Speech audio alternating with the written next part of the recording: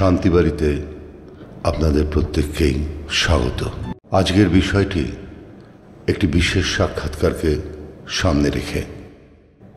সাক্ষাৎকারের দুই চরিত্র হলেন স্বামী বিবেকানন্দ, আরেকজন শ্রী শ্রী ঠাকুর রামকৃষ্ণদেব। বিষয়টিতে প্রবেশ করার আগে একটি অবতারণার বিশেষ প্রয়োজন। ভারতবর্ষের ইতিহাসে বিবেকানন্দ এক যুগপুরুষ ঈশ্বর প্রেম মানব প্রেম আর স্বদেশ প্রেম সব কিছুই তার মধ্যে একাকার হয়ে গেছে। তার জীবন ছিল মুক্তির সাধনা। সে মুক্তি সমগ্র জাতির সর্বাঙ্গীন মুক্তি। অর্থনৈতিক, সামাজিক ও রাজনৈতিক সর্বক্ষেত্রেই মানুষ যেন নিজেকে সকল বন্ধনের ঊর্ধ্বে নিয়ে যেতে পারে, তার জন্য ছিল তার অসীম প্রচেষ্টা।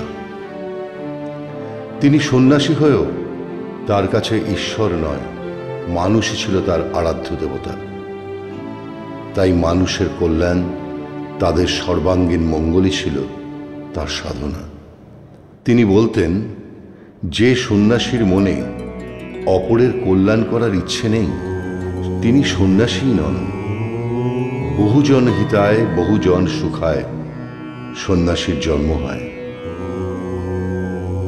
পরের জন্য প্রাণ দিতে, জীবের গগনভেদী ক্রন্দন নিবারণ করতে, সকলের ঐহিক ও পরমার্থিক মঙ্গল করতে এবং জ্ঞানালোক দিয়ে সকলের মধ্যে ব্রহ্মসিংহকে জাগরিত করতে সন্ন্যাসীর জন্ম হয়। শুধু ভারতবর্ষ নয় বিশ্বের মানুষের কাছে তুলে ধরেছিলেন তার অমৃতময় বাণী। পরাধীন ভারতবর্ষের প্রতিনিধি হিসেবে দৃপ্ত কণ্ঠে তিনি বললেন I have a message to the West আর সেই মেসেজের প্রাসঙ্গিকতা আরও গভীরভাবে উপলব্ধি করতে পারছে বর্তমান বিশ্ব। তিনি যে কতটা বাস্তবমুখী ছিলেন, তার প্রমাণ ছিল তার কিছু কথাতে। চিররুগ্ন বাঙালির উদ্দেশ্যে একবার তিনি বলেছিলেন, গীতা পাঠ করার চেয়ে বাঙালির ফুটবল খেলা অনেক বেশি উপকারী। উনিশশো উনআশি সালের প্রবেশিকা পরীক্ষায় উত্তীর্ণ হয়ে নরেন্দ্রনাথ জেনারেল অ্যাসেম্বলি ইনস্টিটিউশনে পড়ার জন্য ভর্তি হলেন। এখানকার অধ্যক্ষ ছিলেন উইলিয়াম হেস্টি। দর্শনশাস্ত্রে তার দখল এমন হয়েছিল, অধ্যক্ষ উইলিয়াম হেস্টি তার সম্বন্ধে বলেছিলেন দর্শনশাস্ত্রে নরেন্দ্রনাথের অসাধারণ দখল। আমার মনে হয়, জার্মানি ও ইংল্যান্ডের কোনো বিশ্ববিদ্যালয়ে তার মতো কোনো মেধাবী ছাত্র নেই। নরেন্দ্রনাথের যতই দিন যায়, জীবনের সত্যকে জানার জন্য ব্যাকুলতা ততই বাড়তে থাকে। পরিচিত, অপরিচিত, জ্ঞানী, মূর্খ সাধু সন্ত যাদেরই সাথে তার পরিচয় হয়, তিনি জিজ্ঞেস করেন, ঈশ্বর আছেন কি? না, নেই। যদি ঈশ্বর থাকেন, তবে তার স্বরূপ কি? কারোর কাছেই এই প্রশ্নের যথাযথ উত্তর তিনি পাননি। ক্রমশই মনের জিজ্ঞাসা বেড়ে চলল, বারবার ভেবেছেন, এমন কি কেউ আছেন যে তার এই প্রশ্নের সমাধান করতে পারেন? আঠেরোশো আশি সালে ঠাকুর রামকৃষ্ণ সিমলাপল্লীতে সুরেন্দ্রনাথ মিত্রের বাগান বাড়িতে এসেছিলেন। সেখানেই প্রথম রামকৃষ্ণের সাথে পরিচয় হয় নরেন্দ্রনাথের। নরেন্দ্রনাথের গান শুনে মুগ্ধ হয়ে ঠাকুর তাকে দক্ষিণেশ্বরে যাওয়ার জন্য আমন্ত্রণ জানালেন। প্রথম পরিচয়ে শ্রীরামকৃষ্ণ নরেন্দ্রনাথের মনে কোনো রেখাপাতি করতে পারেননি। প্রতিবেশী সুরেন্দ্রনাথ একদিন তার গাড়ি চেপে দক্ষিণেশ্বরে যাওয়ার জন্য বললেন নরেন্দ্রনাথকে। তিনি রাজিও হলেন। এলো সেই মহেন্দ্রক্ষণ। যা তার জীবন ভাবনা, তার পথ চলাকে সম্পূর্ণ বদলে দিল। ঘরে প্রবেশ করলেন নরেন্দ্রনাথ। তাকে ঠাকুর বসতে বললেন, যেখানে গঙ্গা জলের জ্বালা থাকে, তার পাশে এসে বসল সেই নরেন্দ্রনাথ। তাকে দেখে ঠাকুর নিজে বলেছেন দেখলাম নিজের শরীরের দিকে তার কোনো লক্ষ্য নেই। মাথার সমস্ত চুল এলোমেলো জামা কাপড়ে কোনো গোজগাছ বলে কিচ্ছু নেই। সেদিন ঠাকুর তার দিকে তাকিয়ে বুঝতে পারলেন, তিনি এক বিশাল সত্যগুণের আধার। তার প্রার্থিত মানুষ যাকে তিনি চেয়েছেন, তিনি আজ এসছেন তার কাছে। নরেন্দ্রনাথকে গান জানো কিনা জিজ্ঞেস করলে তিনি বললেন, দু চারটে বাংলা গান আমি একটু শিখেছি। ঠাকুর নরেন্দ্রনাথকে বললেন, একটা গান করো না হে গাইলেন নরেন্দ্র, মনো চলো নিজ নিকেতনে। মনো চলো নিজ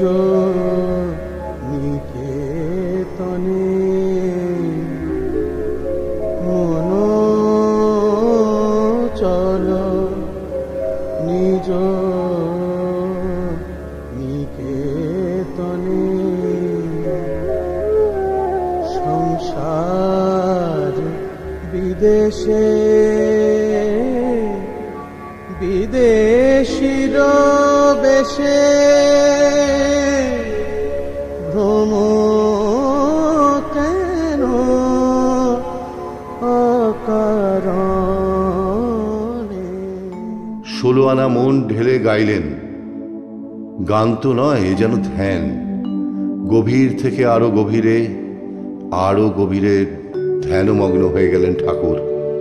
বলেছিলেন, আমি নিজেকে সামলাতে পারলাম না, ভাবাবিষ্ট হয়ে গেলাম। সেদিনের বাকি যা যা হয়েছিল, তার বিবরণ স্বামীজি শারদানন্দকে দিয়েছিলেন। তিনি বললেন, গান তো গাইলাম, তারপর ঠাকুর আমার হাত ধরে উত্তরের বারান্দায় নিয়ে গেলেন। শীতকালে উত্তরের হাওয়া আটকানোর জন্য ঝাঁপ দিয়ে ঘেরা সেই বারান্দা। এমন ব্যবস্থা যে ঘরের ভেতর থেকে দেখা যায় না ওই বারান্দা। বারান্দায় ঢুকে ঠাকুর দরজা বন্ধ করলেন। আমি ভাবলাম, হয়তো ঠাকুর নির্জনে আমায় কিছু উপদেশ দেবেন। কিন্তু তিনি যা বললেন, আমার কল্পনাতীত। আমার হাত ধরে কাঁদতে শুরু করলেন। বুঝতে পারলাম না। এ কি? এটা কি হচ্ছে? এ কি আনন্দ অশ্রু বিসর্জন? আমাকে যেন কতদিন চেনেন তিনি। এইভাবে আমাকে পরম স্নেহে ডাকলেন, বললেন, এতদিন পরে আসতে হয় রে। আমি কত প্রতীক্ষা করে আছি। বিষয়ী লোকের কথা শুনে শুনে আমার কান পচে গেছে। প্রাণের কথা বলতে পারি না রে। পেট ফুলে গেছে। এইভাবে কত কিছু বলে গেলেন। তারপরে আমার সামনে দাঁড়ালেন করজোরে আমি যেন একজন দেবতা, ঠিক এইভাবে। বললেন, জানি প্রভু, তুমি সেই পুরাতন ঋষি, নররূপী নারায়ণ, জীবের দুর্গতি নিবারণ করতে পুনরায় তুমি শরীর ধারণ করেছ। আমি স্তম্ভিত হয়ে গেলাম। কি লোকটি? উন্মাদ? আমি বিশ্বনাথ দত্তের ছেলে, আমাকে এসব বলছে? যাই হোক, চুপ করে থাকা ছাড়া তো আর কোনো উপায় রইল না। এরপর তিনি ঘরে ঢুকলেন। ঢুকে মাখন, মিছরি, কতগুলো সন্দেশ নিয়ে চলে এলেন। আমাকে নিজের হাতে খাওয়াতে লাগলেন। আমি বললাম, এগুলো আমাকে দিয়ে দিন। এখানে অনেকেই আছে যাদের সাথে আমি এই সব কিছু ভাগ করে খাব। না না, ওরা খাবে। আগে তুমি খাও। নিজের হাতে সবটা খাইয়ে তিনি শান্ত হলেন। এরপর বললেন বলো তুমি শীঘ্র একদিন একাকী আসবে আমার কাছে? এরম কোনো অনুরোধ এড়াতে পারলাম না। বললাম, আসব। হ্যাঁ আসব একদিন।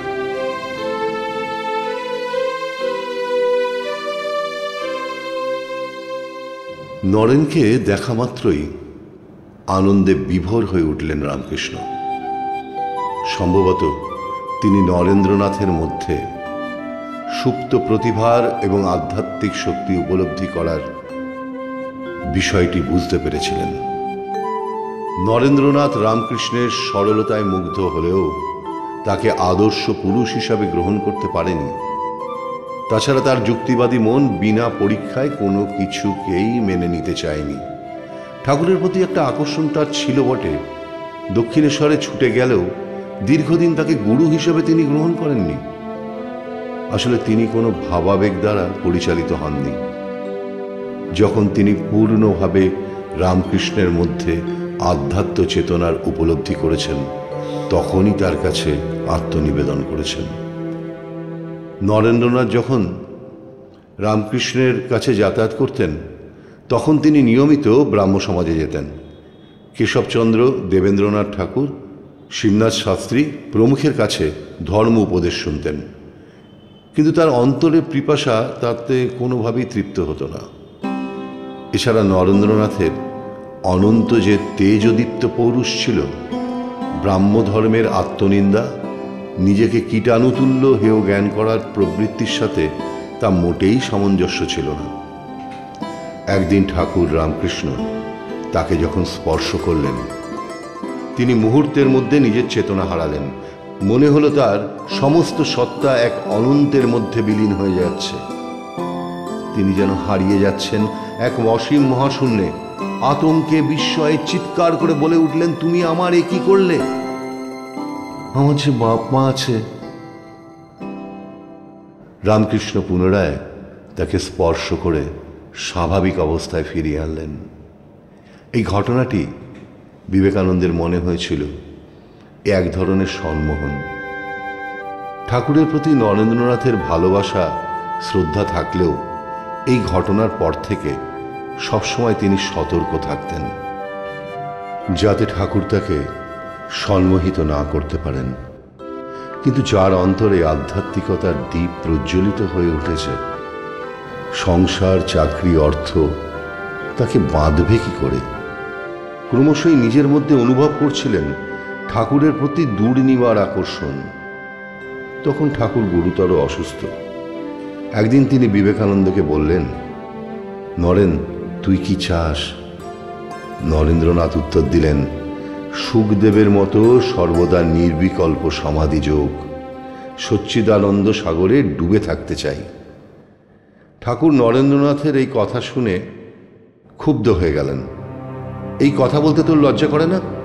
কোথায় তুই বটগাছের মতো বেড়ে উঠে শত শত লোককে শান্তির ছায়া দিবি? আর সেখানে তুই নিজের মুক্তির কথা বলছিস? এত ক্ষুদ্র আদর্শ তোর। নিজের ভ্রান্তি অনুভব করে লজ্জিত হলেন নরেন্দ্রনাথ প্রকৃতপক্ষে এই শিক্ষাই তাকে অনুপ্রাণিত করেছিল। তখনই তিনি প্রতিজ্ঞা করেছিলেন, বহুজন হিতায়, বহুজন সুখায় কর্ম করব।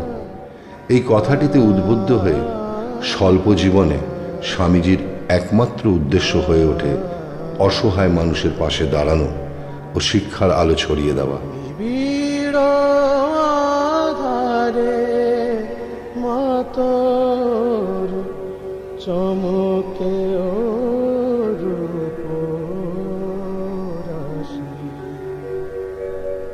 নিবিড় আধারে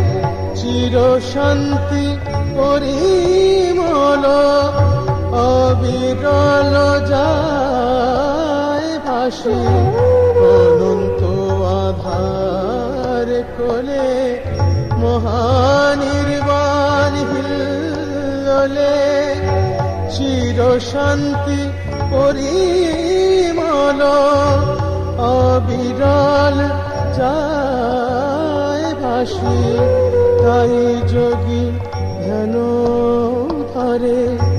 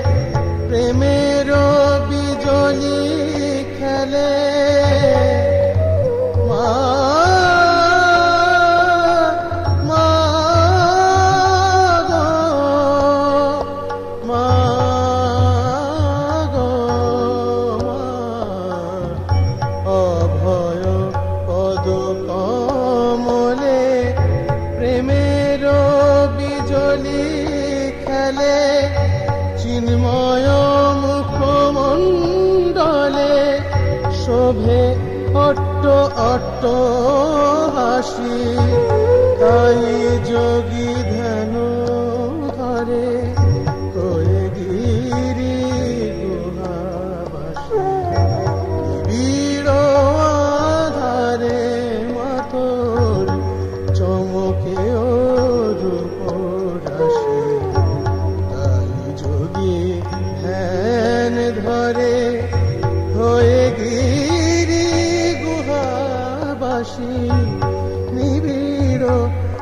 আধারে মাতর চমকে রূপ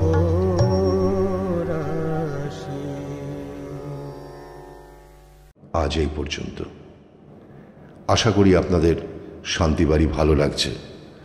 এই অনুষ্ঠান আপনারা নিজেরা শুনুন, দেখুন এবং ছড়িয়ে দিন আরও অনেক অনেকের মধ্যে। আমাদের চ্যানেলকে সাবস্ক্রাইব এবং শেয়ার করতে ভুলবেন না। নমস্কার।